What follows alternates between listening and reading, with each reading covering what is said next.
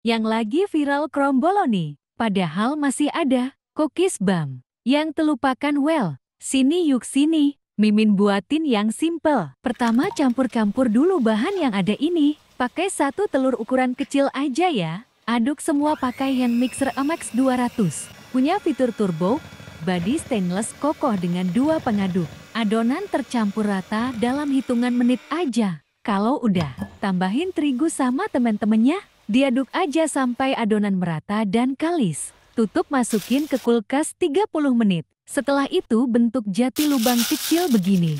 Kayak main tanah liat ya hihihi. Masukin lagi ke kulkas supaya lebih kokoh. Sambil nunggu bisa buat isiannya. Cuma coklat di tim aja campur sedikit whipped cream dan minyak. Biar jati lembut. Udah deh. Tinggal diisi sama cairan coklat penuh. Ditutup sama adonan lagi. Terus kasih sedikit garam. Mimin panggang pakai oven heat Mito, punya nap kayu yang estetik. Karena ada lampunya, jeti mudah liatnya. Tuh, gak lama udah langsung matang. Sempurna beda dari oven lain setengah-setengah. Alhamdulillah, coba kita makan pakai es krim. Bener-bener lumer-lumer-lumerkan. Bikin yang terlupakan apalagi ya?